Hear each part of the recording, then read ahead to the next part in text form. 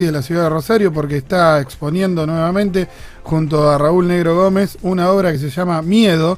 Esto es en el Centro de Arquitectura y Diseño El Túnel, queda en Córdoba, 954 es un subsuelo. Se inauguró el 28 de noviembre y hasta cuándo está?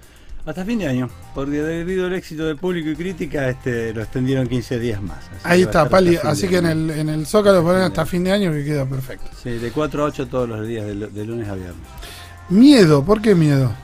Y porque me parece que había que hablar de temas en serio, digamos, en vez de... Queríamos hablar de cosas serias y bueno, empezamos a hablar de la crudeza de la realidad, de, los temores cotidianos y de la posibilidad de tener miedo todo el tiempo y superarlo y que el miedo no sea una cosa paralizante, sino una cosa que produzca y que genere. O sea que el fin de semana estuve viendo una película de, Marvel, el Ant, la hormiguita. Yo ni sabía que existía ese superhéroe. Pero Ant 2, que mi hijo la quería ver y la excelente, me reí muchísimo. El protagonista es fanático de Morris, y es, rarísima la película. Y hablan mucho del miedo, del miedo que, se tiene a perderse, a perderse en el microespacio y etcétera. Eh, eh, te quiero preguntar, ¿cuándo empezaste a tener miedo vos? Porque ellos hablan del miedo en los infantes.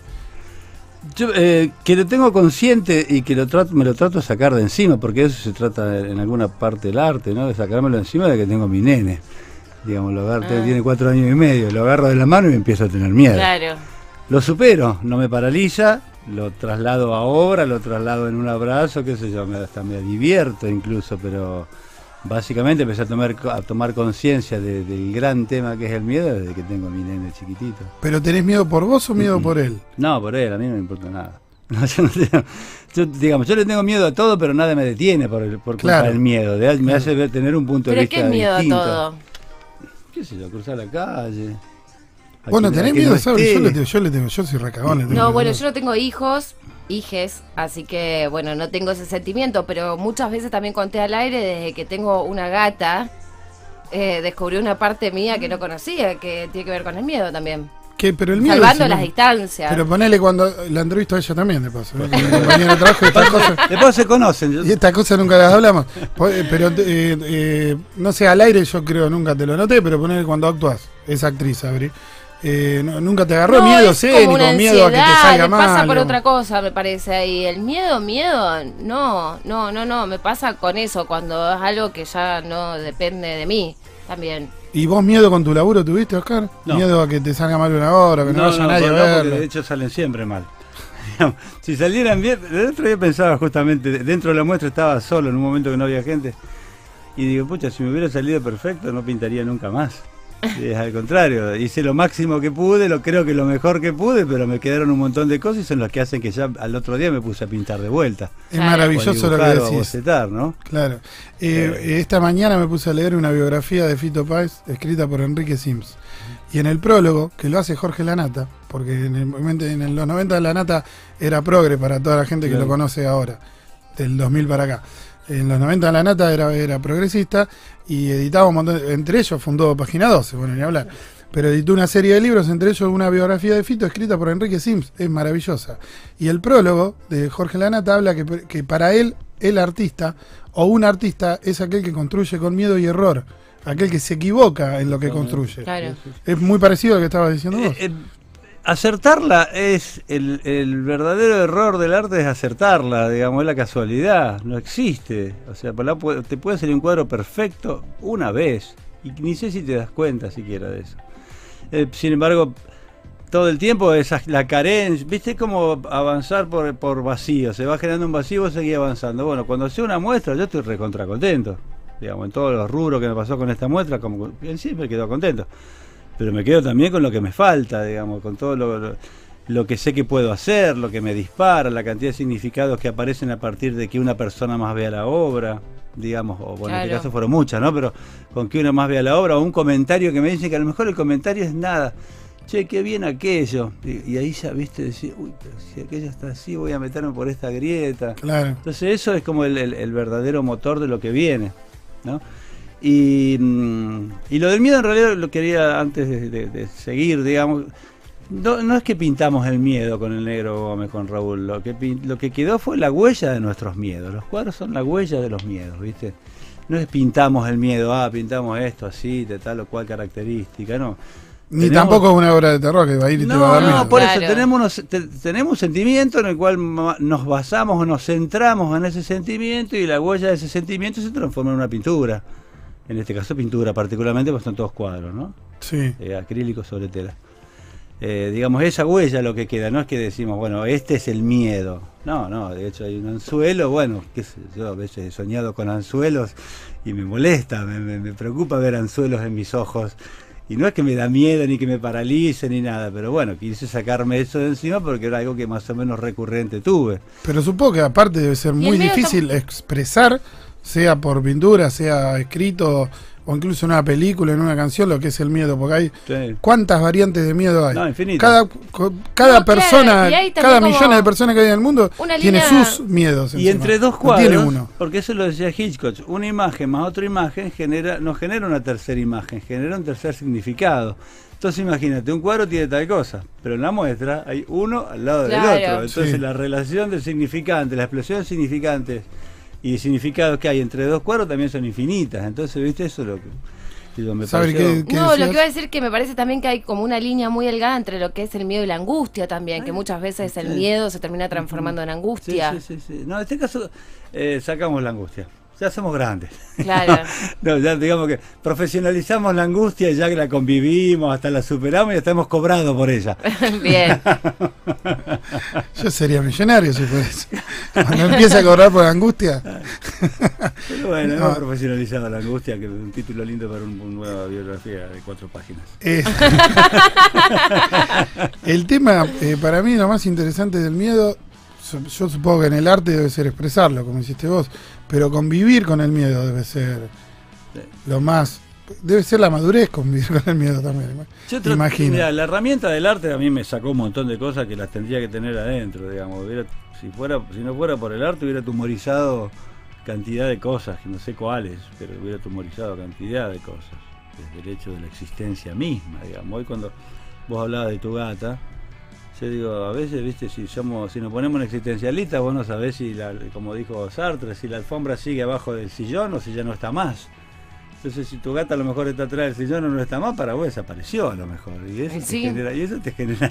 ¿Qué pasó? Mi nene corre hace dos metros y te dio la vuelta a la esquina. Y yo sé que está ahí, capaz que hay un tío a la vuelta, pero mientras ese instante es infinitamente terrorífico. Para mí tiene que ver con lo que te imaginas. Vos te imaginas que tu nene va a cruzar la calle y va a pasar uno en auto. Te digo porque me pasa con los míos. Pero digo, me parece que el miedo, de, de ese tipo de miedo pasa por lo que proyectás Sí, totalmente. Porque lo que vos te imaginás que puede llegar a pasar, en tu caso que la gata desapareció, en tu caso que le pase algo. Sí, claro. El que le Ese pasa es algo uno, hay otros miedos después en los cuadros, va- van a verlo también, no los voy a relatar. Pero hay otro otro tipo de miedo, que sé yo, barcos fantasmas, qué sé yo. Yo de chico me tiraba entre Miedo los más de, fa- de lo fantástico. Sí, de fantasma, no, fantasma de, de lo oscuro, de, de fantasma como algo que ni siquiera tiene la definición, ¿no? Gasper, ¿viste?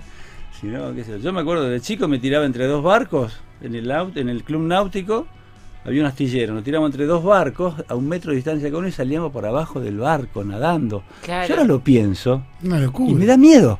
Me da miedo pensar, a pensarlo. Y a veces lo hago como ejercicio. Digo, bueno, hoy voy a superar algo.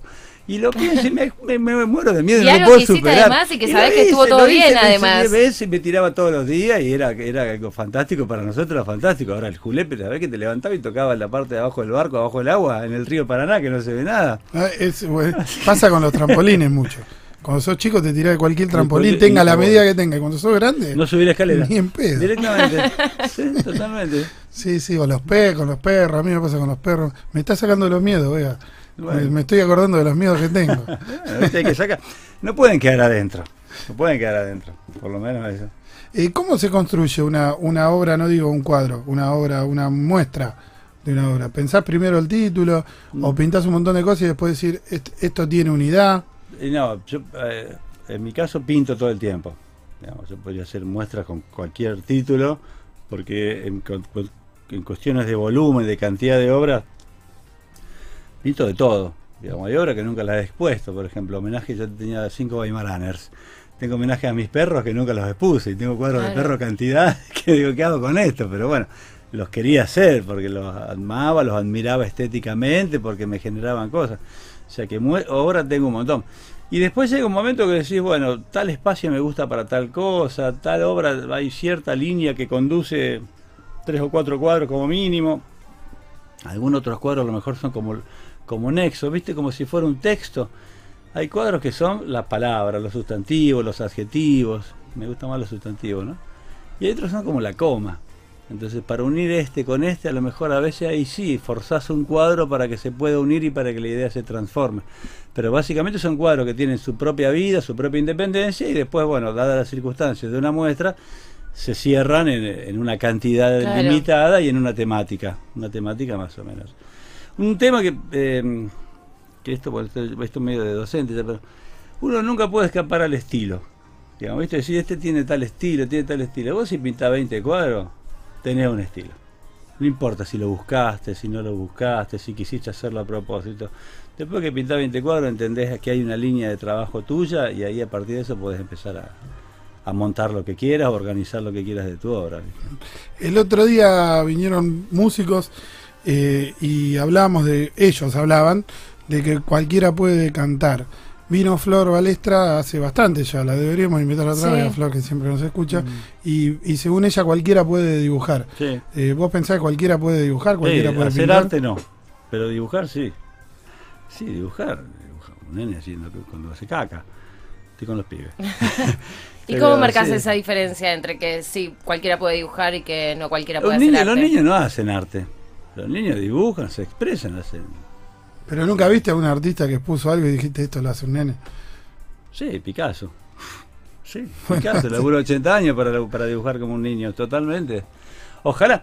Hoy, hoy lo veía mi nene en bola, ya que estamos hablando de nenes. Bueno, no sé si estamos hablando de eso. No, yo hablo todo el tiempo. De nenes, hoy lo veía mi nene en bola. Y tenía lo, tiene cuatro años, tiene el abdominal marcado, musculito, pero no marcado de gimnasio. El cuerpo de un niño puro, sano, más o menos chiquito, tiene esa forma. Después nos dedicamos 40 años a tratar de tenerlos marcados los abdominales nuevamente. Digamos, bueno, el nene es físico-culturista, no, es natural así, digamos, él, tiene eso. Con los dibujos pasa lo mismo, dibujan divino. Ahora, hasta que tienen la conciencia de que eso puede transmitir, que eso son emociones, que yo qué, o sea, hasta que tienen la conciencia del arte es otra cosa. O sea, si cualquiera puede dibujar, cualquiera puede hacer lo que quiere, porque debe ser así me parece. Ahora que eso sea arte ya implica todo un mm. razonamiento muy distinto, culturalmente distinto además. ¿Y quién le da ese significado? ¿El que lo está viendo o el mismo que lo hace? Al principio tendría que dárselo al artista. Uno decide que es artista porque decide que es artista.